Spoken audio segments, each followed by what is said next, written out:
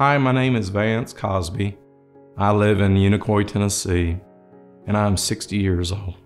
I am in remission from a disease called AL amyloidosis, which is a mutation of the bone marrow. In the two years of treatment that I had for AL amyloidosis, I never looked forward to going to have the bone marrow biopsy. It is very intrusive, it's very painful. I have had four of the manual bone marrow biopsies. Um, they varied in severity of the pain.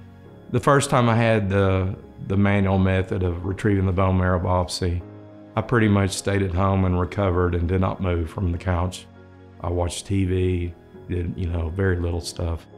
Um, with the OnControl method, I was able to leave and drive myself to my daughter's home and play with all the grandkids all day long. It was like it never happened. I'll never go back to the old way.